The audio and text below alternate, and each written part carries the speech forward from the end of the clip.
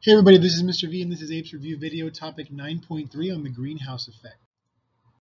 So when we're looking at the greenhouse effect, um, this is basically going to be something that is pretty clear. There's several gases to think about, right? And this results in the um, Earth being warm enough for life to survive. So there's several gases um, such as water, carbon dioxide, methane, uh, nitrous oxide, and CFCs.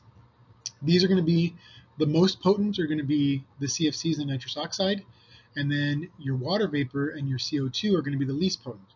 The catch is carbon dioxide is the one that is the most abundant, so that's the one we focus on mostly when we talk about this. So if you take a look, the sunlight uh, does come in and heat the earth, and these molecules, what they'll do is they'll trap those heat rays and let them bounce back and forth between the earth and the atmosphere before they go back out into space. And of course, having more CO2 means that those um, particles of energy and heat will stay on the earth longer. So that's the greenhouse effect. So here's some more resources to help you uh, uh, learn about that. And hopefully that'll be helpful and hopefully this was. Thank you very much.